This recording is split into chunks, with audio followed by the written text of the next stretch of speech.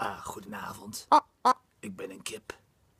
Eh, ik wil jullie graag aandacht vragen door met een... eh en mijn ijs, daar op de grond, en mijn ijs. Dat ik dat eh, op mijn hoofd ga gooien om aandacht te vragen voor de bio-industrie.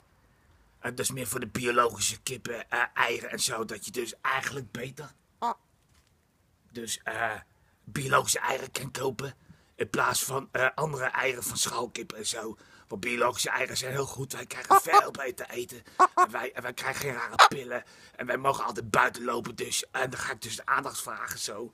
En dan ga ik dus een beetje water op mijn hoofd gooien. En dan eh, dat ik dus aandacht vraag. En dan ga ik en daarna dus een eitje doneren. Voor alle kippen van de, van de biologische kippen. Eieren en zo.